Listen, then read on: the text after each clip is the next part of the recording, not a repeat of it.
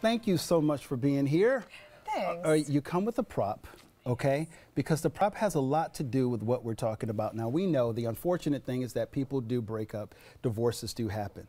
I think sometimes we think about if they have kids involved, who gets the kids? But we never consider who gets the dog. Why should, and, and you say at the beginning of any relationship, that's the first question that they should ask if they have a dog in common. Ideally, it would be helpful if there was some sort of understanding what would happen if their relationship ended and they have a pet together. Yes, that would be ideal. Okay, so what do the courts in North Carolina say about a matter when this presented before them? Um, well, unfortunately, or fortunately, I guess, um, uh, pets are considered property. But every state is different, so you need to make sure that you understand what your state is. So check with South Carolina if you're a South Carolina viewer. But in North Carolina, we look at it um, as if it's property.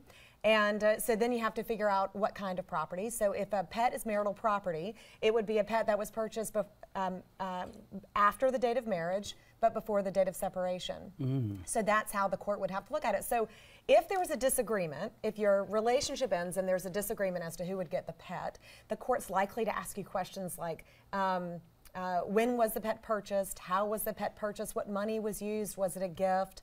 And then we do also talk about the quality of life of the pet. Um, oh, uh, who the pet was registered to, who was mm -hmm. responsible for the pet.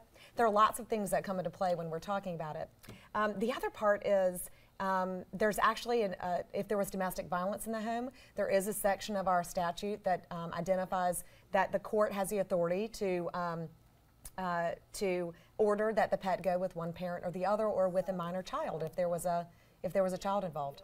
Okay, so so pets in this instance are treated like children.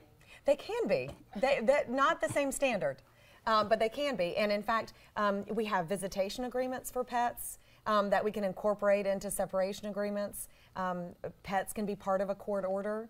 Um, I have, you know, I've had some cases where parents like to exchange the pet along with the children, and then I have other cases where, especially during that initial transition after uh, separation, where some parents like the pets to stay with them and the children to go with the other parent, so that there wasn't that um, alone time.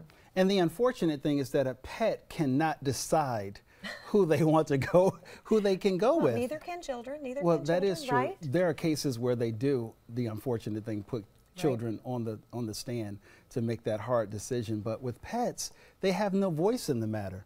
That's right. I mean, the court would have to look. We could look at vet, veterinarian records. We could look at the health of the pet, um, who was responsible for caring for the pet. Now, and that's after we decide whether the pet was marital property. So, I mean, it is. You're right. The pet doesn't have a say, but there are lots of factors that, that come into it if we're trying to make an arrangement for the pet.